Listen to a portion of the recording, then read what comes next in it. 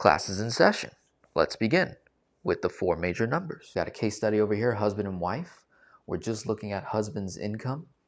Wife is not even included in the income. I would say this, one thing to consider, and this is what this person is considering.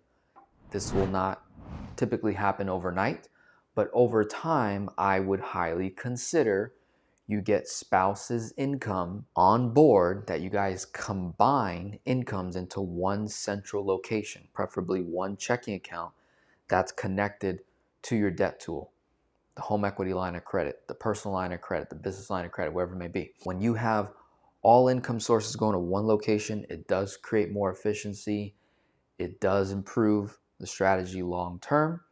But I totally understand when there's one spouse watching all the content, the other one is not, not that involved. So, what this person has to do, you, the one that's watching, where your spouse is not, say, on board or, or wants to keep their income separate, we just need to produce results. 90 plus percent of the time, once we bring results to the table, hey, babe, car's paid off, credit card's paid off. Hey, this is paid off. Hey, this is paid off. When we start showing a behavioral shift in the whole economics of your household, then they start to say, "Oh, oh, that's nice. Oh, oh, that's oh, that's done. Oh, okay. Oh, now they want to get on because now you can say, "Hey, if you were to get involved, whether you give a half of your paycheck, 25% of your paycheck, it's going to increase my results by X dollar amount. You're you're to present facts, right? Present the details, present results. That's going to help spouse get on board. But if we try to convince them, sell them, persuade them, uh, you know, all these different things, typically doesn't work on women. Men, typically yes, but most women don't get convinced or persuaded right away. We kind of have to ease them into it, right? We have to show the results, right? We have to present things in a way that matter to them, frame the conversation in a way that matters to your spouse more than the numbers itself. Sometimes it's not the numbers that's going to convince spouse. Sometimes it's what comes of it. Hey, I'm going to be able to spend more time with the kids. Hey, I'm going to be able to take the kids to school and you can take 2 days off.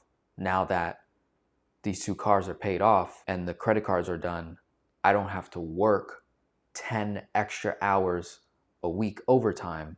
I can dial that down to 40, 50 hour weeks, which means I'll have more time to spend with you on the weekends. When we're able to craft that conversation away, I'm telling you, it's going to be a game changer for your personal finances and just, you know, overall how you go to sleep at night. Okay? So, four major numbers on the board. We're dealing with 7,215.89 bi-weekly. That's broken down into 3607.94 net paycheck, okay? Total expenses are 4,681.96. We have a healthy cash flow out the gate. This is prior to even doing velocity banking. Okay. Another key gem takeaway before you even start velocity banking, before you get into it, okay? There's something called pregame work. I came up with this idea of velocity banking pregame work. There's so much content out there showing the strategy itself and how powerful it can be when implemented. Yet, there are tons of people who, who go right into it with the wrong tool, too high of an interest rate on line of credit. They don't know the full mechanics. They start making mistakes. They end up going into more debt than what they expected because we didn't handle the pregame work, the foundation building. So there are 10 plus steps, right?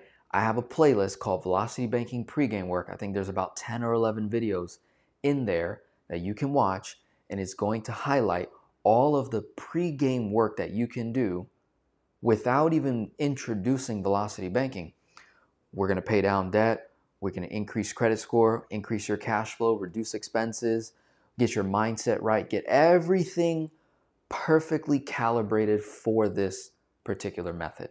You're able to do and there's so many scenarios where we do all that pregame work and then we may not even need to introduce velocity banking because of how much we were able to do with the foundation that sometimes we can skip over velocity banking right into infinite banking. Sometimes that's the case, right? Or maybe it's a combination, velocity banking, infinite banking together, right? Or maybe it's none of the two. Maybe it's just straight start a business, create more income. No velocity, totally fine. Maybe just using credit cards, right? So another big gem there. Total debt, 235,000. Here's our debt tool, our main debt tool. We have a home equity line of credit, second position, $50,000. 8.25% is the interest rate. Here is the breakdown of four debts outside of the mortgage, four debts that we're dealing with, two credit cards, two loans, right? This is the balances owed. Here are the monthly payments. Here are the interest rates. And then these numbers right here are the cash flow index scores. If you do not know what the cash flow index formula is, all I am doing is taking the balance of a debt and dividing it by the monthly minimum payment, and you get a score. The lower that score is, the more attractive it is to pay off that debt. Okay? In the debt snowball world, if we were to tackle these debts in the form of debt snowball, we would start with lowest debt to highest debt. So it would be 4,000, the 95, the 14, and then the 42. That's how that would work. In cash flow index, it has you skipping over the smallest debt because it got a 39.21 and we're going right here to the 95 at 21.92. Then it has you going to 33.33, 14,000. Then it has you coming over to the highest debt, 42,000, and then finishing it off with the smallest debt, 39.21. That's kind of weird, right? But from a cash flow perspective, you would gain more cash flow faster without velocity banking. If you were to take this 2533.93 instead of sending it to this 4000, cash flow index would say send it here first. If you went in this order, right? 9500, then jump over to 14, then go to 42, then end at 4000, you'll get out of debt faster than Debt Snowball. The only argument or, or leverage that Debt Snowball has is the ph- philosophical perspective, not necessarily a mathematical one, but the philosophical perspective that the average person will build more momentum. They'll stick with the plan longer by starting with the smallest debt and working your way up, creating that snowball effect. Okay? If we were doing debt avalanche, the first debt that we would tackle would be the credit card for the 14,000 because it focuses on highest interest cost, right? So highest interest cost, debt avalanche, that one first, then the 42k, then the smallest debt, 4 grand, and then ending at the loan for 9500. That in my opinion is the slowest way, right? So when we look at cash flow index formula, it is a great great measurement stick to determine how you will apply velocity banking. So when you run cash flow index formula, this gives you a guideline, not necessarily law, but a guideline, in my opinion, as to how we will do velocity banking. So first step, know your numbers. Got that.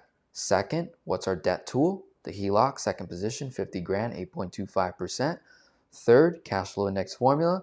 Let's analyze the debts. How and which ones are we going to go after first? Now we need to determine our chunk range. What's our chunk range, students?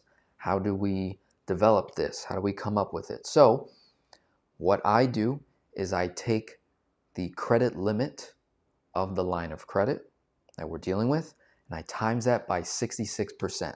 Okay, so that is what I call my leverage rules. And then we have leverage capacity. Okay? Everybody's leverage capacity will be different, but the leverage rules should be a strong, consistent guideline. No matter how much income I'm dealing with, no matter how much cash flow I'm dealing with, I'm always following my leverage rules. What are the leverage rules? We got two very, very important rules within leverage 66% of the line of credit or two thirds. You can say 67% or 66, whichever number you feel most comfortable with. So it's either two thirds or 66%, right? Then that would number would be 33,000 right here. off of 50K. And then we take cash flow current, not what you're going to have, cash flow current, what we're currently at before starting velocity banking, cash flow times 12. What does that equal? 30,407.16. This is picture perfect. Look how the cash flow in correlation to how much debt we're leveraging is about 12 months of future cash flow. So all velocity banking is doing at the end of the day is what debt snowball or making extra payments does in a whole year. It is taking all those extra payments that we would do over a 12 month period and we're bringing all that to the very first month. That's it. Pretty simple. And there's some nuance, some variation in that. We'll get into it. But now we have our chunk range anywhere from 30,407.16 to as high as 33,000. Look how picture perfect that is. Now, if this person had a $500,000 home equity line of credit, the gap just widened massively. And this is where we need to display some responsibility. And this is where leverage capacity would come into place. For example, if we had a $500,000 home equity line of credit, 66% of 500 grand is 333,000 and their cash flow is only 30,407 per year. So, to help you decide, should I chunk 333,000 just because I have a HELOC for $500,000? Yes, no, maybe so, I don't know, right? My answer every time I'm working with a client is I don't know, let's run the numbers first and let's look at our rules. Okay? So, one of the ways to determine your capacity to leverage that 333,000 is you ask yourself this mathematical question, which is we take our current cash flow, 2,533.93, right? Divide it by 66% of the line of credit. So 333,000 divided by 2533.93. So if you were to chunk $333,000 and you have cash flow today of 2,533, you are effectively, mathematically leveraging 131.41 months of cash flow, of future cash flow. Break that down by 12. You are leveraging about 11 years of future cash flow. Stop right there.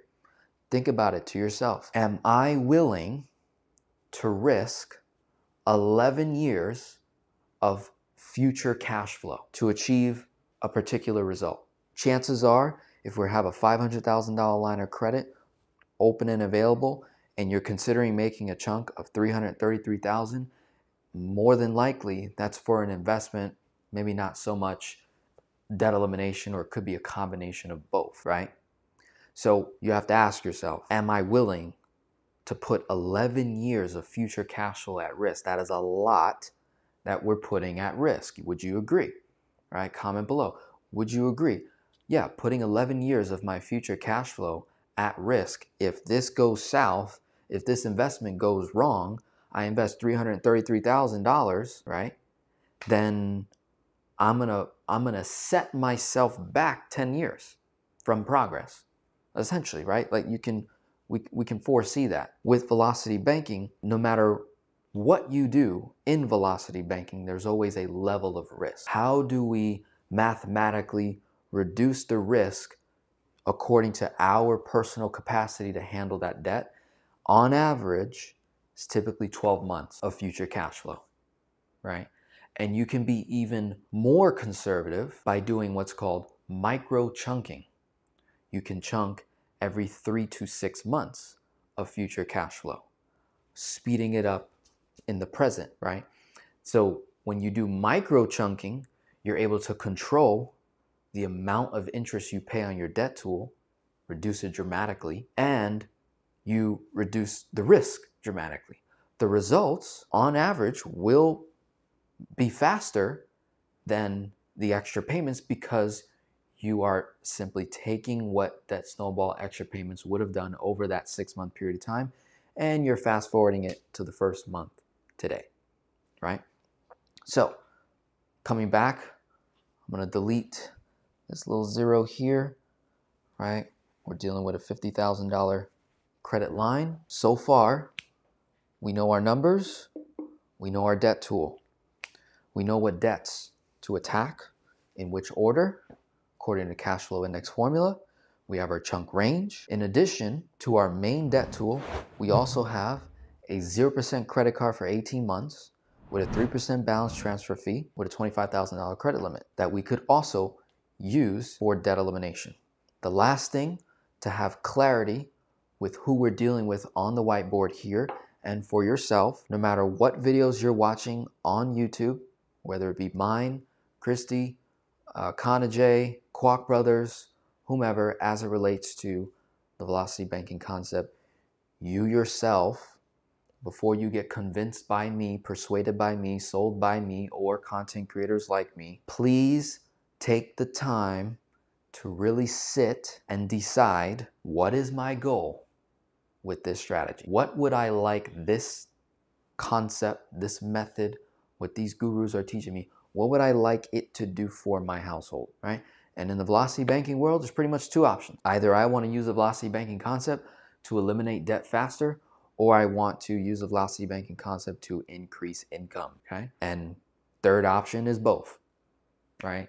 You want to increase income and you want to eliminate some debt. So we can do a combination of both, right? Now we can maybe spend some time on that. I can show you what that could potentially look like, all right?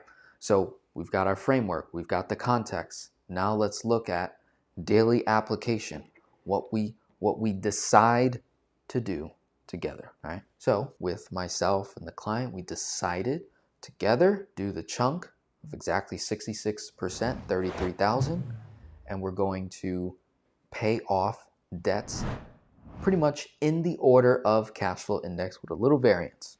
Okay? And I'm going to tell you, and I'll, I'll share why I feel this way. So, of the 33,000, right, and I'll map this out together, we'll, we'll stick with the calculator. I instructed the client, we're going to go ahead and pay off the 9,500. We're going to skip, right, that small debt. We're going to go to that 33.33, 14,000, right? Skipping the smallest debt, right? According to cash flow index, the next debt I should tackle would be the bigger debt for the 42,000, 37.94. Now, here's where my nuance comes in and I kind of revert back to debt snowball just a little bit and I told the client, I said, look, whatever we chunk at this point, at this debt, it doesn't pay it off, right? And again, kind of leaning on that psychological piece there, momentum, performance, dealing with a person here, not a robot or a spreadsheet. I'm dealing with a person. So I'm also factoring in the human factor here, human error, that if I can get the client to pay the 95 off the 14 and the 4 grand, I can say, hey, that's three debts paid off. That's three payments off your list. That is a big, big, big confidence boost. So I'm going to skip over that last debt, even though cash flow index told me to go after it, over the smallest debt. So that's 27,500. Three debts gone, right? What do we get? 420 plus 102 plus 433. 20. So that is a cash flow gain guaranteed $955.20. Not bad at all. Okay, well, I'm still not quite at 33,000 just yet. So what would I do with that? 33,000 minus 27.5. You're left with $5,500. Yes, now apply it here, right? So instead of applying 9,500 toward here, as cash flow index would have me do, I'm going to simply do 5,500 toward that loan principal. So 5,500, 42,429, 45 minus 5,500 would bring the balance down to 36,929.45. That's one option. Or to be even to create even more velocity with the HELOC. Right? These are these are options. You, you can you can play with this. Ultimately, I think they produce the same result pretty much the same, but I think having that initial boost with the line of credit, considering that this particular debt, I'm not going to pay it off either, either way. So, what if I took a portion of the, our chunk, which was the $5,500 number, and let's say we took that 5,500 of debt from our HELOC and actually made the payment for the month that we're in. We're looking at August 2024, right? What if we just satisfied the payment and then the rest went to principal? So 5500 minus 1118 12, right? So then 4381.88 would go towards principal. The other 1118 12 satisfied the payment for August, right? Satisfied the payment, which means that my expenses for the month of August are going to be $1,118.12 less coming out of the HELOC. So I have this temporary cash flow boost from my normal income and, and expenses and cash flow. Did you see that? You see the difference there? So we could either send 5500 and still make the 1118.12 so technically you're sending more money to that loan for the month of August. So you can do both, right? Uh, you'll definitely pay it off faster because you technically sent more money, right? But for the sake of dealing with a newbie in velocity banking, sometimes what I like to do is have the client use part of our chunk to actually satisfy the payment only when we're dealing with a debt that we're not actually paying off in full with our chunk. So, so far, our first chunk, 33 grand, we paid off three debts for sure. That means that very same month, especially if we're dealing at the beginning of the month, I received that cash flow now, 955.20 guaranteed. All right. So somewhere around 37,000 uh, and some change is is what we'll be at on the loan, right? I made the payment. I no longer have that payment. Now, here's what we do. Velocity Banking. I'm going to take you back in time as we're live right now to August 27th. I'm going to take you back in time, take you when the first day we actually start Velocity Banking, right? And I'm going to show you how statement cycles typically work as it relates to our credit cards and HELOCs and that sort of thing. And we're to go day by day and try to map out the estimated interest cost of what we're dealing with, right? So, the way the paychecks are set up for this person, we're getting paid on August 2nd. We're getting paid on August 16th. We're getting paid on August 30th. August happens to be a three paycheck month. So that's to give us another boost of 3607.94. It's technically for the month of August. Our income was not 7,215.89. It was 7,215.89 plus 3607.94. Not bad. All right. So we got the chunk money coming out on the same day I get paid. This is another standard guideline, not necessarily a law, but I'd say a very, very healthy standard guideline. The best time to make your chunk payment, whether it's from a line of credit, PLOC, HELOC, whatever it may be, all in one first lien, second lien, whichever it is, the most efficient day to make a chunk payment is the day you have the most money in your bank account. When is the day or days in a month where you have the most amount of money in your bank account? It's typically the day you get paid. In this case, we have three opportunities in the month of August to make our chunk. Now, obviously, the sooner the better, no doubt. So keep that in mind. The sooner the better in terms of making my first chunk. And if I'm trying to be efficient, setting up my base and foundation, all the pregame work done, great.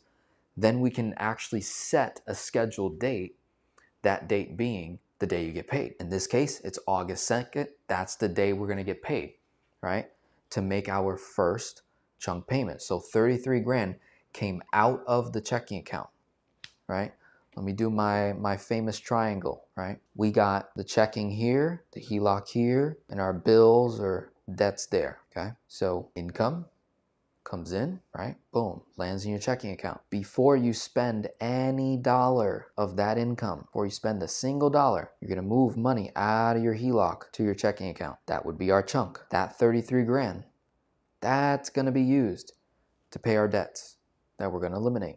The three and then partial of the fourth. All, all, all, all of it. Hear me clearly, please. Some of you missed this step. This is vital. Some of you think you're doing velocity banking. I talk to so many of you. I'm like, uh, inefficiency, inefficiency, inefficiency. Nope, not doing it correctly. Nope, not doing it correctly. I'm constantly running a clinic over here on my YouTube channel, and I think that's because there's a lot of misinformation online. And you know, uh, that's the that's the downside of learning online. Okay, you're gonna deal, you're gonna have to deal with that. So you're gonna have to take that extra time to really study, right? And I want to do my best to never provide misinformation or lead you astray. So I try not to leave out details, which is why my videos are so darn long, because I'm trying to cover all of the details. And even then, I may miss some, but I'm trying to make sure you're fully equipped before you go into this thing, right? So, all of that income, where does it go? It's got to go into the HELOC. It immediately satisfies whatever the payment would have been typically on that HELOC. So no payment will register. By the time the payment does register, it was already satisfied. That is why we do that. That's one key factor. Second is interest costs. The moment we pull 33 out, you're immediately getting charged interest. Now, you can delay or reduce, I should say, that interest on 8.25%. You can reduce that by simply sending all of your income right into the HELOC the same day before midnight of that day. So August 2nd, 33 grand came out, boom. 360794 went in. Same day.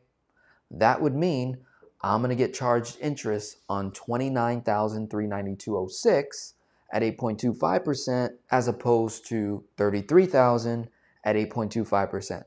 It doesn't make a huge difference but over a long period of time, it definitely makes a difference, right? These are these are multiple days that we're getting charged interest that we could reduce that number by. Pretty powerful, okay? So 33 grand, paid the debts. Where did the debts go? They're now in the HELOC. So question for you, when I get a debt tool, here's what the naysayers say is that you're basically going into more debt.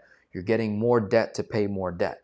No, we are not. Mathematically, we are not doing that, right? If I have a $50,000 line of credit and I owe 235,540, do I now owe 285,000 of debt? No, because I have not used the 50 grand yet. Now, if I take the 33 grand and I pay off three debts in a partial of the fourth, how much debt do I still owe? 235,540. Nothing changed. Not yet. So I did not increase debt. I did not decrease debt. All I did was move it from one location to another, and I'm going to pay less interest. I'm going to have more of my dollars work stronger for me, which eliminates the debt. It's a game of interest. That's what it is. That's how we get speed. Because if all the numbers are the same, it's a matter of who pays more interest. If all the numbers are the same, same ingredients, same person, same discipline, same mindset, same everything, the only difference is who pays more interest. That's it. It's a game of interest. So I moved the debts into the HELOC. My income is in the HELOC. Now I need to pay bills. Now, for the month of August, our expenses went from 4681.96 down to 2608.64. Why? Well, I'm no longer paying 955.20 and for the month of August, I don't make that payment of 1118.12, right? For that that month, okay? That's what happened. So you add that 1,118.12. Add the 955.20 minus it from 4681.96. You should get that number, 2608.64. Okay, so now it's August 2nd. Now here's where I made an intentional error. On August 2nd, I'm illustrating us pulling out $1,408.64 at once, right? In the actual application of velocity banking, ideally, you want to withdraw money especially as a beginner, every three to five days. Another guideline every three to five days, to accommodate any expenses over the next three to five days. And so you'll find yourself pulling money out of the HELOC at least five to six times a month on average, especially if you're biweekly. Okay? And there's ways to strategically align your bills as far away from the due date as possible and, and money in from money out, right? It, it's possible. I'm not going to show that right now because I want to just give you the, the, the basics, the principles, foundation. Once you get the foundation, you can then add, add, add, add more enhancers, what I like to call them, right? So we got income went in, reduced the balance 29,392.06. Okay. And then expenses came out 1,408.64. Of the 260864 of expenses, 1200 of that can be run on a credit card. So outside of what's shown here, we have another credit card, zero balance, nothing owed, where we can run bills on a card, get 2% cash back. Now, if we display proper discipline, my friend, okay, as long as you have proper discipline and can track the expenses you're running on credit cards to pay bills, to get cash back rewards, and to reduce your borrowing costs on the home equity line of credit, as long as you have discipline and good tracking, I'm all for it. Do it. Now, if we assumed that we were going to run $1,200 on a credit card to run your bills every single month and pay it off in full to avoid interest, but at the end of the month you ran $1,800 on the card, we now have to reflect and see hey, wait a minute, we only allocated for 1200 you told me your expenses were this much but now we're running $1800 on the credit card. You increased your expenses by $600 you decreased your cash flow by $600 you did nothing. It did not help you to add that specific enhancer of a credit card to run bills to get the cashback rewards to reduce interest on your HELOC whatever you did with that 1800 got got destroyed by the simple fact that you spent 600 more dollars. Even though you got cashback rewards, even though 18 more hundred dollars stayed in the credit card for 25, 28 days, whatever it was, you still spent 600 more dollars. That's not efficient, right? So that's taking us in the wrong direction, right? So that's a gem there. Take that for what it's worth. Moving right along, this person displays discipline. We're going to run bills on a card, the same $1,200 every single month. We're getting 2% cash back. We're getting $24. That's 24 less dollars every single month that's coming out of the HELOC to pay that credit card off. So instead of paying $1,200, we reduced our cost of living by $24 every single month moving forward. Not bad, okay? That earns you a few dollars in savings in interest, which means more cash flow. More cash flow means I get out of debt faster. Even if it's a dollar, two dollars, three dollars, I still get out of debt faster, right? And you compound that over the amount of time it takes us to get out of debt. It, it creates massive results, right? Pretty powerful. So that's the breakdown of the 260864. 140864 of it is cash bills. The 1200 is bills that can be paid with a credit card, right? So now 140864 came out. It's August 2nd, right? Intentional error. We're at 30,870. Times that by 13 days all the way till we get to the 16th, right? So you count August 2nd. Let me just make sure I counted right. August 2nd to the 3rd, one day, right? So one, one, two, three, four, five, six, seven, eight, nine, 10, 11, 12, 13. Yes, so I did it right. So 13 days, right? It's technically more days, but in terms of charged interest days, it's 13 days between the end of August 2nd to the day August 16th, but without calculating August 16th. Because on that day, income comes in, so you have to readjust what that new interest will be. So for 13 days, owing $30,870, I will pay $90.50. Now, here's where a lot of people that disagree with velocity banking when they show their um, calculations where they make errors sometimes. The $90.50 daily interest, right, that's getting charged to the HELOC, I'm not getting charged on August 16th $90.50. That doesn't get charged until the first statement due date which would be September 2nd, right, or September 1st, 28 days later. That's when the interest gets charged to the HELOC, right? So that's important because if the 9050 got charged on the 16th, technically you'll end up paying more interest, right? Because now that's part of the balance. So that's important. That, that's a game changer. That changes things up. So we got $90.50 for 13 days. It's now August 16th. What happened? Income came in. 360794 brings the balance down to 27,192.76. Principal. 100% of my paycheck. Principal. This is why I tell you guys all the time dump all your income into the line because it'll be 100% principal on that day. If you wait, not only did you pay more interest, but some of that, right, won't won't be 100% principal anymore. Right? Because you waited. Because you paid a bill and then you sent the rest into the line. In that case, all you're doing is extra payments, my friend. You're not really doing velocity banking, right? That's going to be key for a lot of you here. So balance is at 27,192.76. So count August 16th to the 30th, another 13 days. Again, without counting the 30th, right? Notice how the interest is different now. The balance is going down. So for the first 13 days, it was $90.50.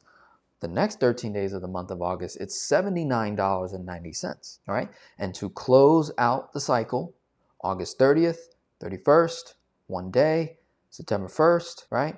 Two days on the 30th, I get paid 360794, brings the balance down 23,584.82.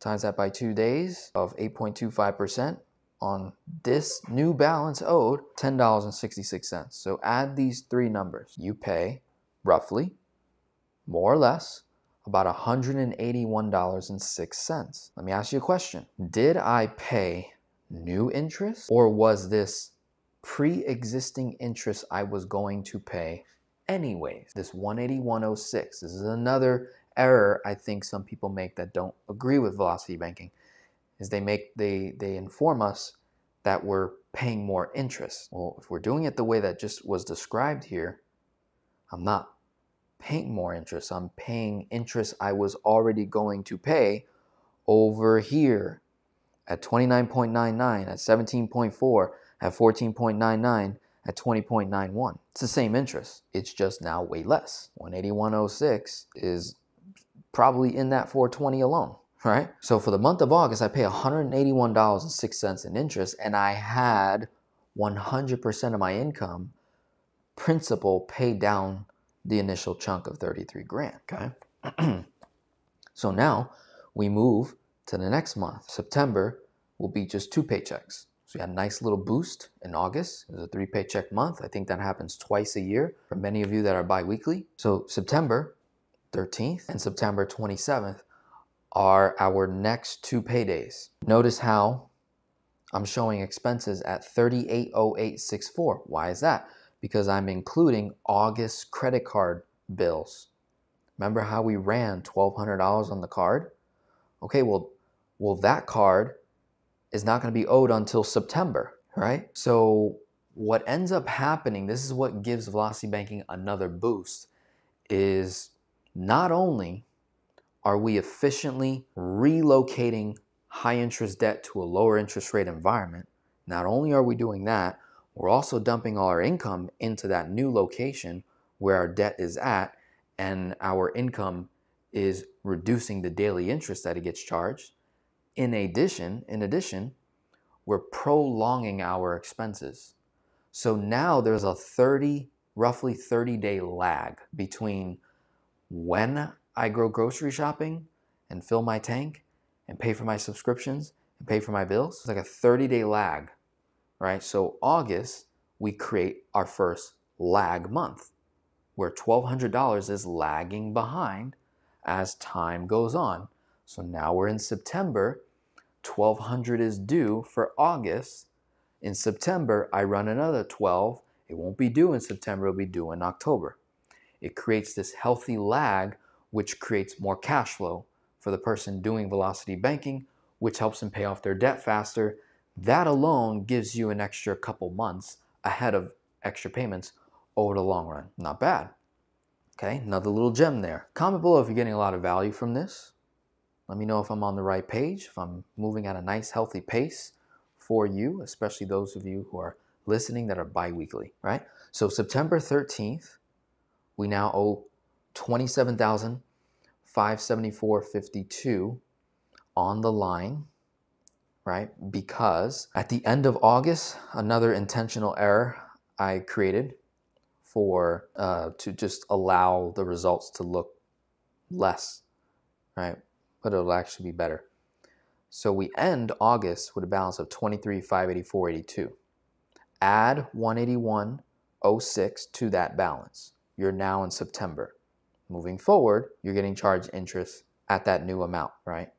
What I did was I minused uh, three, I added 380864 to the 23,584.82 number and the 18106, that should you should get 27,574.52 minus income 360794 here's your balance 23,966.58 you should times this number by 11 days at 8.25% what i did was i took the higher number just to create like error so 27,574.52 times 8.25% divided by 365 times 11 days, you should get that number, 68.55. So for 11 days, September 2nd, right, through up to the 13th, without counting the 13th as a day, we're at $68.55. September 13th, count that day to September 27th, without counting September 27th, you should get 14 days. 360794 on the 27th goes in. So the balance is at 20,358.64, right? Times that 14 days, you should get 64.42, another four more days, and you should get $18.40. I already took expenses out at the very top of the month even though that's not what's happening, right? And then there's one more key thing that we did with this client is remember this credit card here? 0% for 18 months. I bet some of you were like, when's he going to include that? I very strategically waited, right? Because by now, the balance on this loan is somewhere around 36, 37,000 owed. With this specific credit card, we can do what's called a convenience check, 0% for 18 months, pay a 3% fee, we have a $25,000 credit limit. Could we use the whole 25K? Sure. Would I? Me, no. I think it would violate my rules. It'll violate our capacity to handle that. So if we did 25,000 times two thirds, that's 16.5. We could roughly do anywhere from 16.5, right, I'm gonna delete my famous triangle here for now. Give me some space to work with. Stay with me. Stay with me. Right, I know this is a lot. A $16,500. That's 66% of 25 grand. The other thing that we could do is take the balance of the debt that we're trying to hit divided by 2.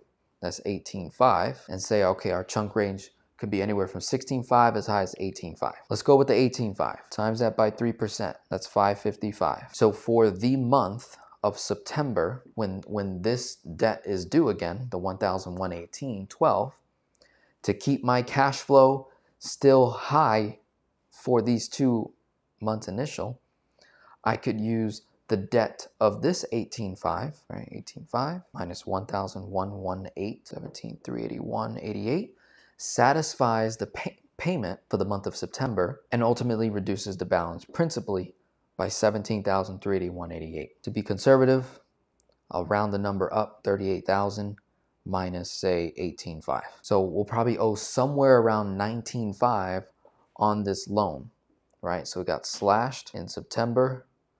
We owe somewhere around 19.5. And we don't have to make a payment from our income because we use debt to make the payment, right? And we took 20.91% and we put it into a 0% environment and it only cost me 3%, 555. It only cost me 3% to do that. That's going to be a massive, massive amount of money in savings. Just from doing that alone, and then we're just going to pay the monthly minimum payment, 18.5, 3%, right? and then times 1% of the balance. So our our cash flow will decrease by 190.55. Our expenses go up by 190.55, right?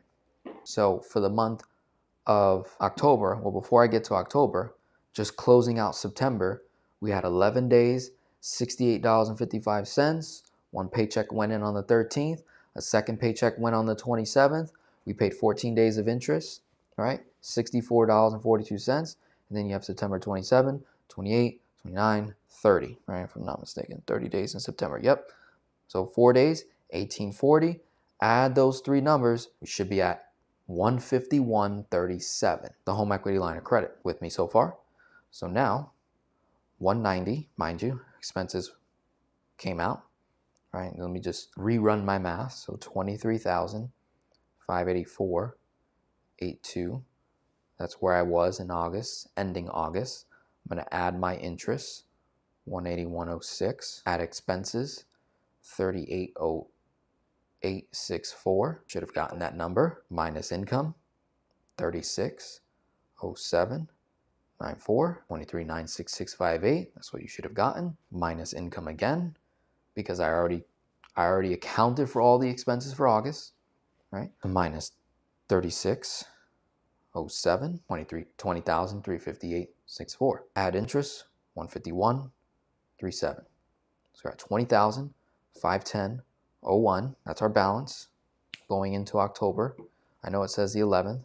I'm just going to write for right now 20,000 going into the month of October at the beginning, 20,510.01. Now, looking at expenses, we're at 2608.64 plus. Now I'm gonna actually count the uh, the 190 minimum payment. So I'll just I'll round up, say 195. Then I'm gonna add now 1,01876. I'm gonna create an intentional error by showing expenses coming out all for the month of October, overestimate interest costs on purpose.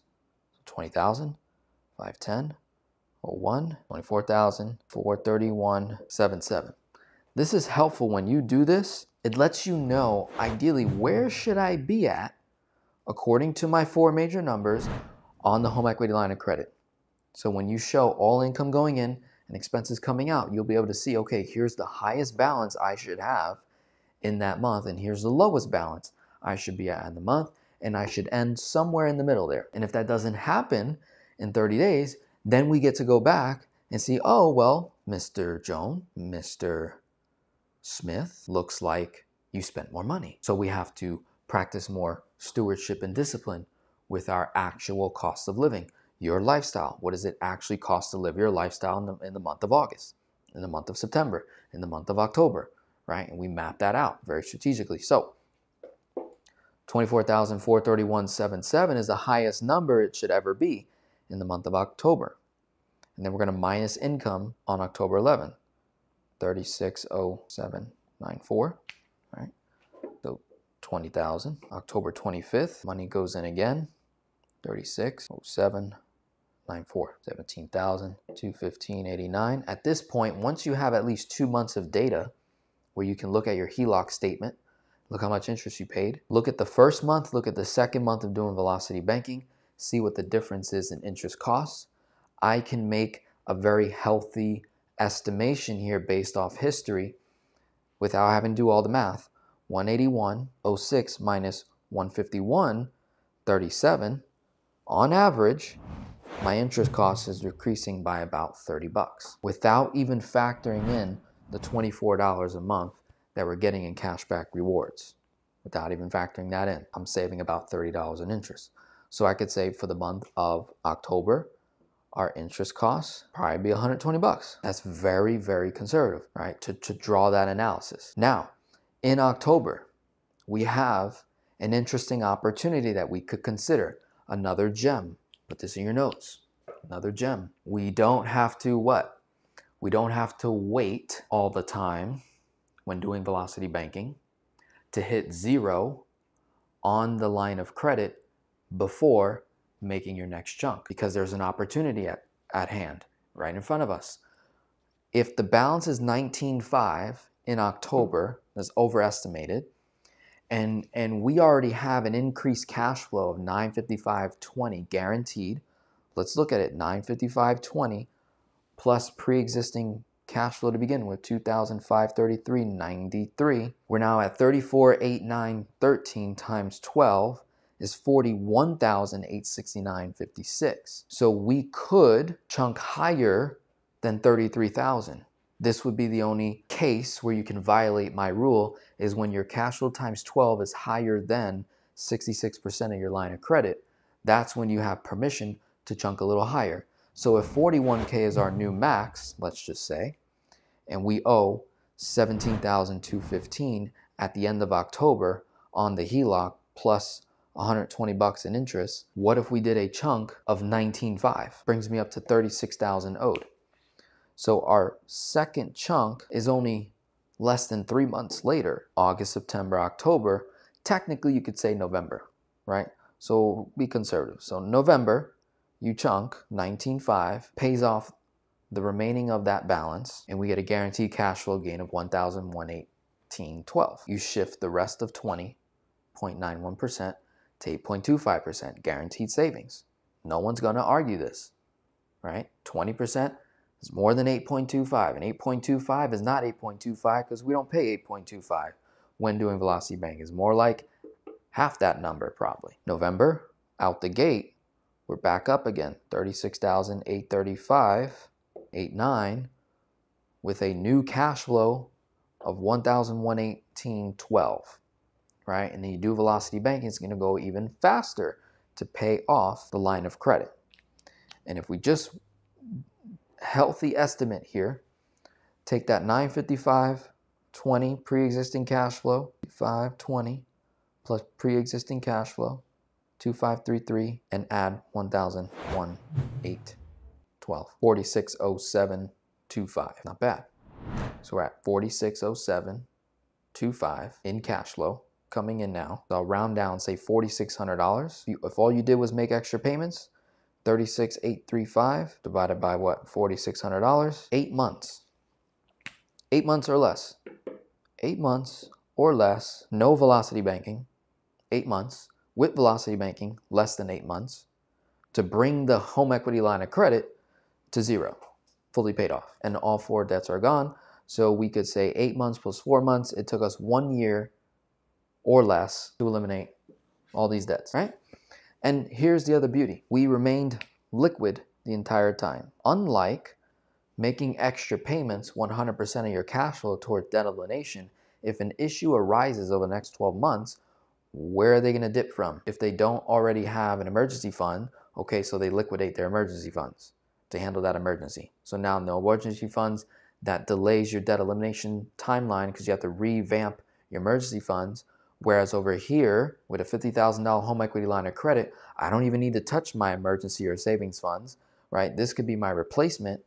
I remain liquid the entire time, if something does happen within 12 months, right, there's always plenty of equity available in the line of credit. Hence, leverage capacity, leverage rules. Super important. Got to follow it, okay?